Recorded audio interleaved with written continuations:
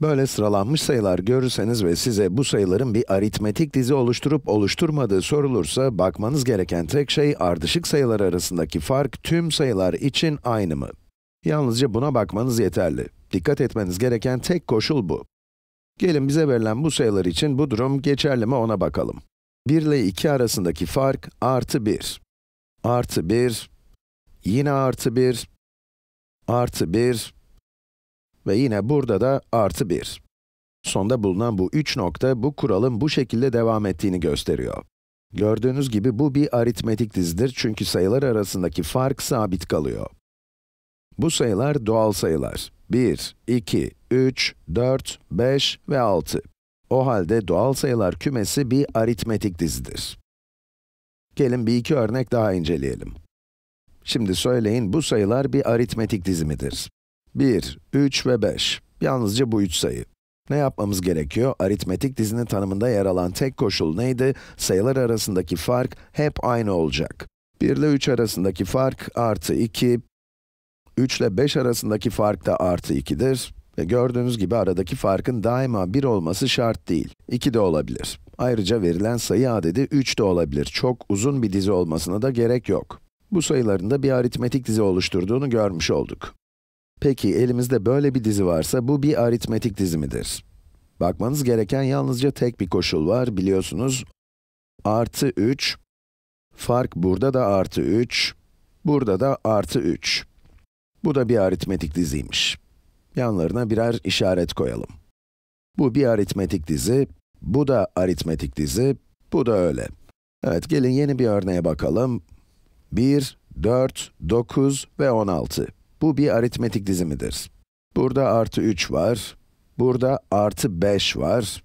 Evet, devam etmemize gerek yok. Bu bir aritmetik dizi değil. Bu iki sayı arasındaki fark ne olursa olsun, bu bir aritmetik dizi değildir. Çünkü baştaki sayılar arasındaki fark aynı değil. Sayılar arasındaki farkın illa 1 veya 2 olması şart değil, tüm sayılar arasındaki, tüm sayılar arasındaki farkın sabit, yani aynı olması yeterli.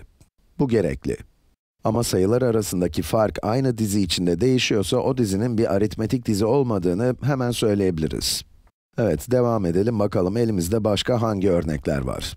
Sayılarımız 3, 5, 8 ve 11. Bu bir aritmetik dizi olabilir mi? Bu ikisi arasındaki fark artı 2, bu ikisi arasındaki fark artı 3. O zaman daha ilerlemeye gerek yok, bunun bir aritmetik dizi olmadığını anlamış olduk. Hemen işaretleyelim. Yeni sayılarımız şöyle, 8, 5, 2, eksi 1, eksi 4. Dikkatinizi çekmiştir, bu dizideki, bu dizideki sayılar azalıyor. 8'den 5'e, sonra da 5'ten 2'ye. Hiç fark etmez, sayılar arasındaki fark eksi işaretli de olabilir. Sayılarımız soldan sağa doğru yazılmış ama sayı doğrusu üzerinde sağdan sola doğru ilerliyoruz. Bunlar arasındaki fark eksi 3. Bunlar arasındaki fark da eksi 3. Bir eksi 3 daha. Bu iki sayının arasındaki fark da yine eksi 3. O halde bu bir aritmetik dizidir çünkü sayılar arasındaki fark sabit. Gördüğünüz gibi sayılar arasındaki farkın illa artı işaretli bir sayı olması da gerekmiyor, eksi işaretli de olabilir. Gelin bir örnek daha çözelim. 7, 7, 7, 7 ve 7. Böyle dizi mi olur? Hep aynı sayı. Peki, bu bir aritmetik dizi mi acaba? Diğerlerine yaptığımız gibi yapalım, diğerlerine baktığımız gibi bakalım. Bu iki sayı arasındaki fark artı 0, tabi eksi 0 da diyebilirsiniz. Artı 0, artı 0, artı 0. Sayı doğrusu üzerinde aynı nokta üzerinde duruyoruz veya sürekli orada zıplıyor gibiyiz. Öyle düşünün. Peki fark değişiyor mu? Değişmiyor. Dediğim gibi bakmamız gereken tek şey, ilk şey, tek şey farkın değişip değişmediği. Değişiyor mu? Değişmiyor. O halde bu bir aritmetik dizi. Buraya kadar olanları özetleyelim. Dizideki sayılar herhangi bir sayı olabilir. Dilediğiniz sayıdan başlayabilirsiniz. 1 de olabilir, 4 de. Eksi bir sayı bile olabilir. İlla artı işaretli bir sayı olmak zorunda değil. Rastgele bir dizi yazalım. Eksi 3, 0, 3, evet kaç olsun? 6, 9 ve böyle devam etsin. Bu bir aritmetik dizidir çünkü bu ikisi arasındaki fark artı 3'tür. Bu ikisi arasındaki fark da artı 3'tür. Bu şekilde devam ediyor.